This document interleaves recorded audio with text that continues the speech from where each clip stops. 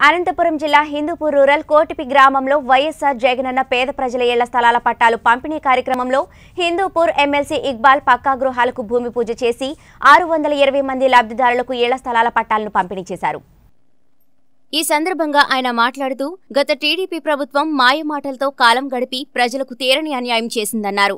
అదే వైసీపీ ప్రభుత్వం ప్రజా అభివృద్ధి ధ్యేయంగా ఇచ్చిన మాట ప్రకారం అన్ని ప్రాంతాలను అభివృద్ధి చేస్తుందన్నారు. రాష్ట్ర ముఖ్యమంత్రి వైఎస్ జగన్మోహన్ రెడ్డి చేపడుతున్న అభివృద్ధిని చూసి ఓర్వలేని టీడీపీ ఎన్నో కుట్రలు కుతంత్రాలు చేస్తుందని అయితే దేవుని ఆశీర్వాదం ప్రజలు దీవెనలు ఉన్నంత వరకు కుట్ర కుతంత్రాలు కొట్టుకుపోయి అభివృద్ధికి అడుగులు వేస్తున్నామన్నారు. అందరికీ ఇళ్ళు అదే వైసీపీ ప్రభుత్వ లక్ష్యమని అర్హత గల వారందరికీ పక్కా గృహాలు మంజూరు చేసి వారి కళ్ళలో ఆనందం చూడాలన్నదే రాష్ట్ర వైసీపీ ప్రభుత్వ లక్ష్యమని ఆ దిశగానే అర్హత గల వారందరికీ ఇంటి స్థలం పట్టా పక్కా గృహం మంజూరు చేయడం జరుగుతుందని హిందూపురం ఎమ్మెల్సీ షేక్ మహమ్మద్ దిగ్బాల్ పేర్కొన్నారు.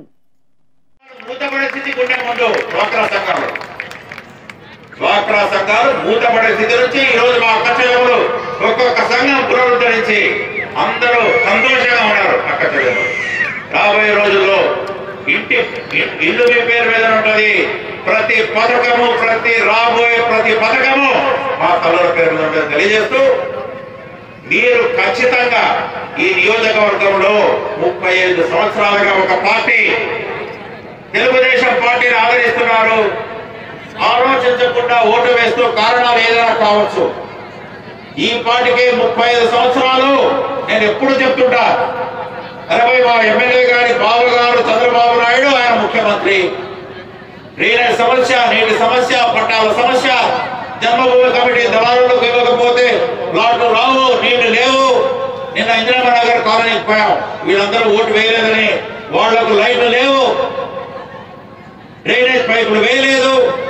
రకరకాలుగా ఇక మా కాలనీలో కౌన్సిలర్లు ఉంటే ఎవరైతే వైఎస్ఆర్సీపీ పేరున గెలిచారో ఆ కాలనీలో పట్టాలు బంద్ నీళ్ళు బంద్ లైట్లు బంద్ ఎలక్ట్రిసిటీ సమస్యలు బంద్ డ్రైనేజ్ సమస్యలు ఇంత నీచమైన రాజకీయం చేసింది టీడీపీ దయచేసి మీరు గుర్తుపెట్టుకోండి అటువంటి పార్టీలను దయచేసి ఎందుకంటే మంచి చేస్తే ఎవరైనా ఆదరించాలి మా నాయకుడు చెప్పింది చేస్తున్నాడు ఇదిగో అందరినీ అన్నదమ్ములాగా కులాలు మతాలు మానవత్వమే ఇన్సానియత్ ఇన్సానియత్ ही दीन है सबसे मोहब्बत ये हमारी दीन है అందరినీ సమానంగా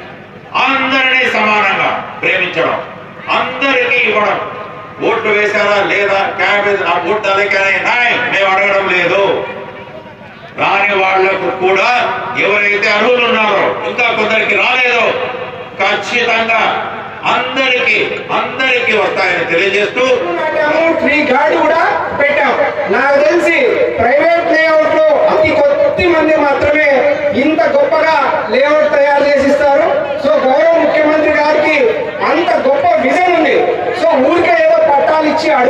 కాకోకుండా అన్ని సకల సదుపాయాలు సమకూర్చి పేదలకు ఇల్లు ఇవ్వాలనేటువంటి గొప్ప సంకల్పం చేసినటువంటి గౌరవ ముఖ్యమంత్రి గారికి మేము సర్వ